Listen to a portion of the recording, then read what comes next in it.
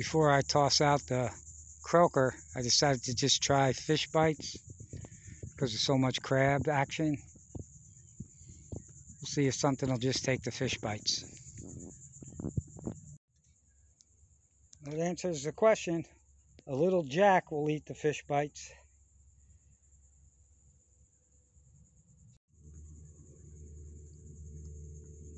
Puffy was here. Another one that'll take the fish bites. Sometimes you snag a setup on your way in. Got somebody's knocker rig.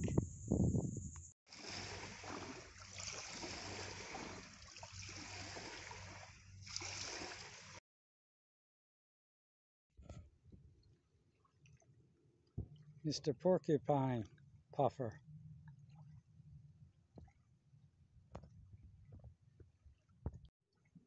These little guys will eat the fish bites.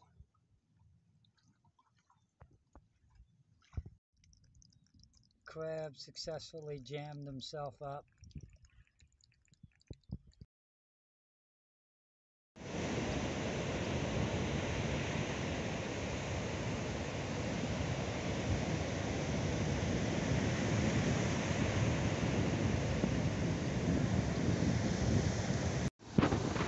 I got a friend that walks the beach and he said every guy he saw fishing had to quit because of the weed. So even though the water looks nice, you have to wait till the weed disappears.